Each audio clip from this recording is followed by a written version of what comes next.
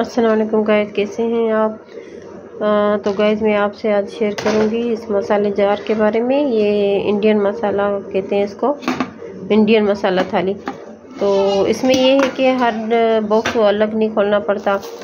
ये मसाले ऐड करके और बाय रखो जब आप सालन बनाओ। तो सब में जो है इजीली चम्मच चम्मच उठा के आप लेके सालन में ऐड कर सकते हैं। तो चले मैं फिल करती हूँ। ये बहुत काम की चीज़ है इसके साथ चम्मच मिला। ये मुझे 2000 का मिला। और इसमें तकरीबन एक, दो, तीन, चार, पाँच, छः, सात सात छोटी छोटी प्यालियाँ हैं। इतनी छोटी भी नहीं है नॉर्मल ही है। और ये देखें वॉश करना भी इजी है। निकाल के हम इसको वॉश कर सकते हैं। ये सारी अलग हो जाती हैं। तो मैं इसमें मसाले ऐड करती हूँ, फिर आपसे शेयर करती हूँ। तो चले गए इसमें ऐड करती हूँ मसाले, इसमें मैं ऐड करेंगे नमक।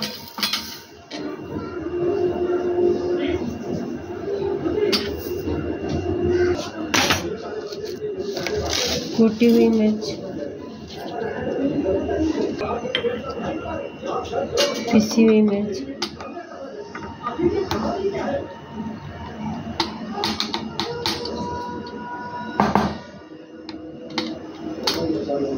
तो चले, एक में मैं ज़ीरा ऐड कर देती हूँ। ये वो मसाले हैं जो हमारे रोज़मर्रा की रूटीन में यूज़ होते हैं। धनिया।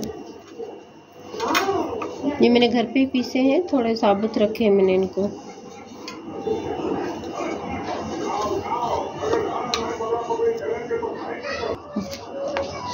ये गरम मसाला।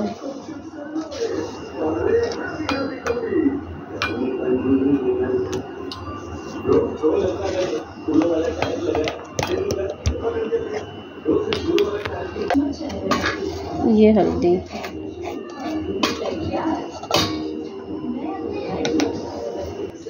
तो गए देखे पहले मेरे पास ये वाले थे स्टील वाले, ये भी इजी है वॉश करना, लेकिन इसके लिए हर किसी को अलग अलग ढक्कन खोल के यूज़ करो।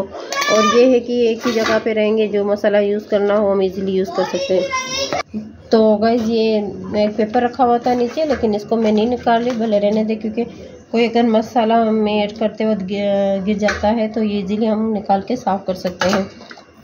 तो ये देखें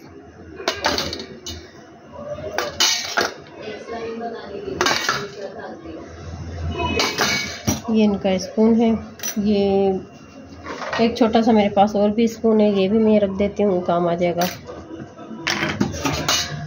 तो ये ढक्कन बंद कर दिया तो देखें। ज़बरदस्त है ये आप भी लें और अपने काम को ईज़ी बनाएँ।